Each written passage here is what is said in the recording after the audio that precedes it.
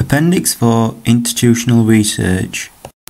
In terms of the record labels that might produce my hybrid music video called Shine the Light by the indie band Fraser, I've looked at record labels that help produce music for other indie bands like the Arctic Monkeys, who have three record labels of Domino Records,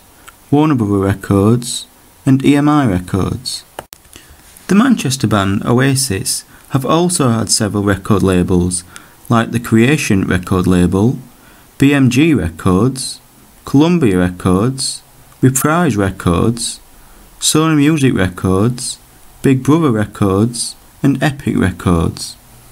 Another indie band, The Killers, have had three record label companies of Island Records, Vertigo Records, and Marrakesh Records.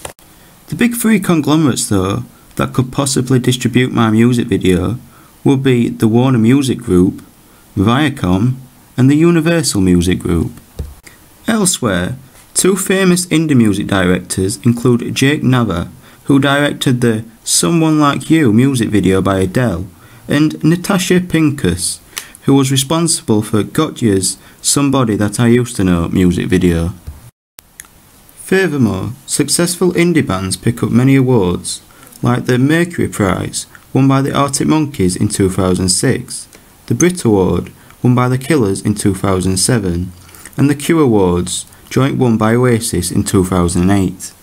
Finally, synergy between products on all platforms is very important in the music industry, and I intend to use the A logo from Fraser's main logo in my music video, magazine advert, and on my digipack.